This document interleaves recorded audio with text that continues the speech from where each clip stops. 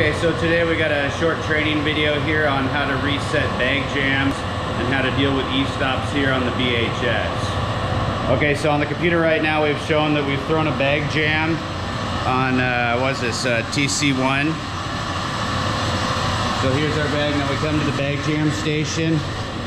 But to reset this, the very first thing you want to do is hit the e-stop. All right, then you're gonna move your bag back behind the photo eyes. Look for the photo eye. There's the reflector. Here's the photo eye. After you've unstuck the bag, move it back.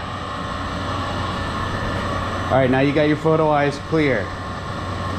So we're gonna undo the e-stop. Then we're gonna start this up. And when it's blinking like this, that shows you that it's clear. And we're gonna start it up.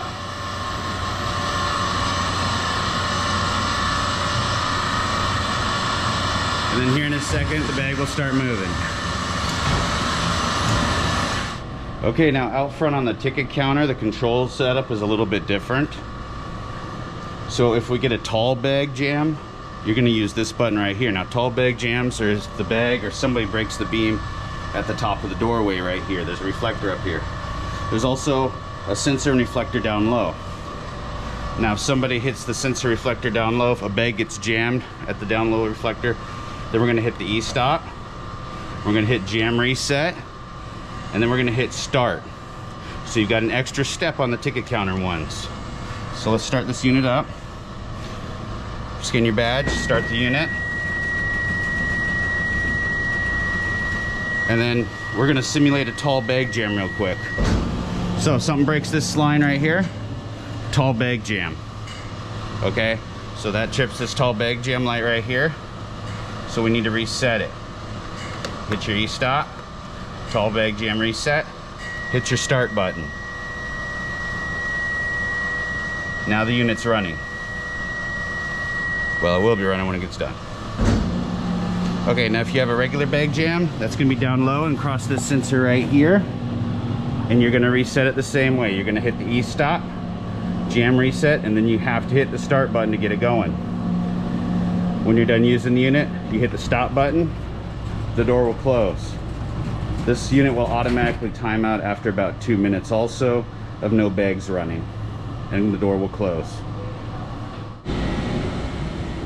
Okay, another type of e-stop we have here is on CL202.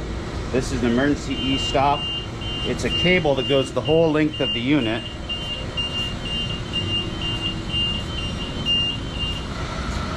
back to the switch for the cable.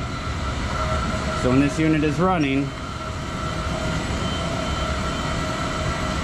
anywhere along this line, you can pull this cable and trigger the E-stop. In order to reset it, you gotta press this button,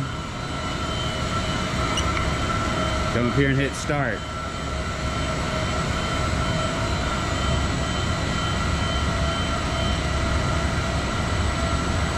You see the unit takes a minute, but then it starts back up.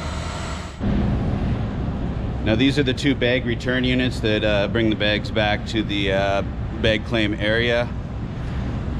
These units start up by scanning your badge and pressing the start button. And when these get a bag jam, they operate the same way. You're gonna hit an E-stop, push the E-stop in, move your bag.